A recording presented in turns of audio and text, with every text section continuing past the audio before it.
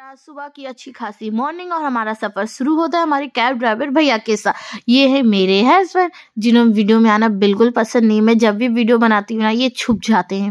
मानो कोई नई नवेली दुल्हन हटाओ इनको। ये हूँ मैं, खाती पीते चल रही हूँ मैं। एक्चुअली स्टार्ट किया था मैंने, हमने मॉर्निंग से ही हमने ट्रैवल करना शुरू किया था, पर वीडियो नहीं बना पाया। तीन बजे सुबह सुबह फ़्लाइट के लिए निकली। थक गई थी काफ़ी। तो दिल्ली में थी अच्छी खासी धूप तो मैंने अपना जैकेट खोल के रख दिया, मैंने कॉट्स पहना है। और यार, दिल्ली की ट्रैफ़िक हमारी कोलकाता की ट्रैफ़िक से भी ज़्यादा ट्रैफ़िक है यार, दिल्ली में बाद हमने अपना सफ़र स्टार्ट किया है तो ऐसे चलते चलते हमने दिल्ली को क्रॉस करते करते फाइनली हम शिमला में इंटर कर चुके हैं।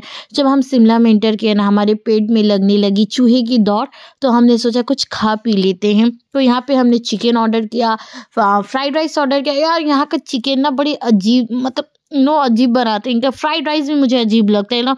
थोड़ा थोड़ा मीठा मीठा टाइप का, जो मेरे को उतना पसंद नहीं, पर फिर भी पेट में तो चूहे कूद रहे थे, खाना तो था हमें। फिर भी मैंने अपने हस्बैंड को निकाल के दिया। मैं भी खाना शुरू कर दी।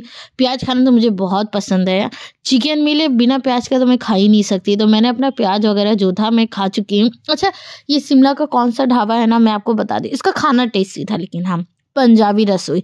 इसका खाना अच्छा लग रहा था हमें बट यू नो हम मीठा मीठा नहीं खाते। तो उसके बाद हमारा सफ़र स्टार्ट होता है शिमला के लिए। हम सुबह दस बजे से बैठे थे। पौसे पहुँचे हमें रात में नौ बज गए। हम काफ़ी ज़्यादा टायर्ड हो गए। होटल में इंटर किया हमने। हमने बोला भाई अब हमें रूम दे दो। अब हमसे वेट नहीं होगा। बहुत ज़्यादा हम टायर्ड हो चुके थे। यहाँ पे यहाँ का ना सारे होटल का एक चीज़ था ना, जो शिमला में जितने होटल है ना, वो सब एकदम नीचे बने थे। तो हमारा जो रूम था नीचे था थर्ड फ्लोर नहीं ग्राउंड फ्लोर था इनके हिसाब से।